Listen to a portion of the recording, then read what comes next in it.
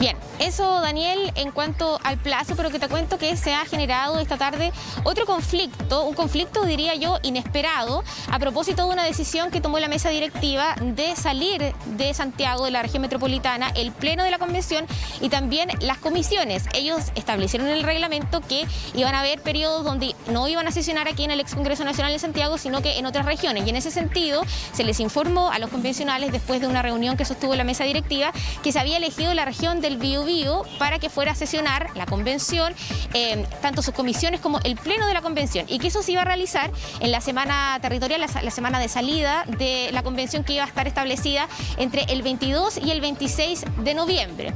Eso se anunció durante la mañana, estaban bien contentos, eh, el vicepresidente Jaime Baza en particular anunció con el gobernador de la región y junto a otros convencionales de la zona, muy contentos y optimistas que se iba a desarrollar esta visita entonces en algunas semanas.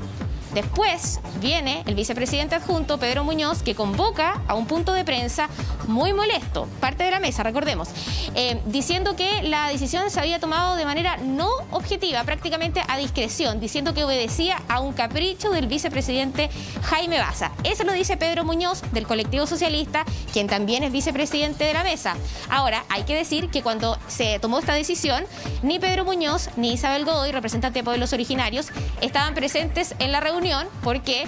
Porque se estaba produciendo una manifestación afuera, esto fue ayer, se estaba produciendo una manifestación afuera, había una persona que quería entrar a la fuerza del ex Congreso Nacional y también la Central Unitaria de Trabajadores quería reunirse con la mesa de manera urgente, digamos. Y entonces Pedro Muñoz con Isabel Godoy fueron mandatados por la mesa para que fueran a dialogar y a resolver este conflicto y las demandas que estaban pidiendo los trabajadores y por tanto no estaban presentes en la reunión. ¿Es así? Entonces por eso que se produce este conflicto. Eh, le intentamos preguntar al vicepresidente Jaime Baza por las declaraciones de su par de la mesa. Eh, luego de, una, de un punto de prensa que tuvieron con el Consejo para la Transparencia, pero dijeron que eh, iban a dedicarse a responder preguntas solamente de la materia y no quisieron responder entonces eh, preguntas que tuvieran que ver con otro tema en el punto de prensa. Vamos a ver si es que finalmente, después de esta jornada, se refieren a este conflicto, a este desencuentro que se produce entre los mismos vicepresidentes de la mesa de la convención. Claro, difícil de comprenderlo porque había consenso en términos del tema de descentralizar, de que hubiera sesiones en regiones, de modo que no parece muy claro por qué concretamente este anuncio podría generar una controversia como esta. Muchas gracias, Josefina, por el completo informe sobre este trabajo en la convención. Muy buenas tardes. Nos vemos.